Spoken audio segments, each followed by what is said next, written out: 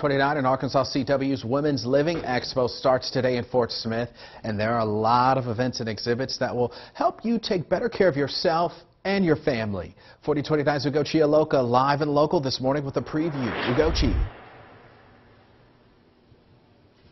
Yeah, good morning, John. We're here at the Fort Smith Convention Center, and today, obviously, a lot of people are going to be gathering here for the Women's Living Expo, and not only to come to some of the activities, but also to meet uh, General Hospital star Sean Kanan. Welcome. Thank you. I'm excited to be here. You know, the, the first time that I actually started General Hospital was in 1992, and Arkansas was the first place that I went to go promote the show, and so all these years later, during our 50th anniversary, I'm back here, so I'm excited to be here. Welcome. So what brings you here today, and for the whole weekend, really? Well, I'm actually here for two days at the Women's Show, and I'll be promoting my book, which is uh, Sean Kanan, Cooking and Entertaining with Sean Kanan.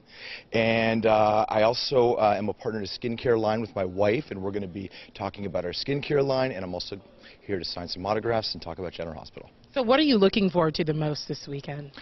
Uh, probably not getting carpal tunnel syndrome. That would probably be be really. No, I, you know, just saying just saying hi to everybody. And um, for me, it's a lot of fun to meet the people that watch the show. They're they're really what it's all about, and um, they love to give me their uh, story ideas and talk about what's going on. So you know, just a little little interaction with the uh, with the fans.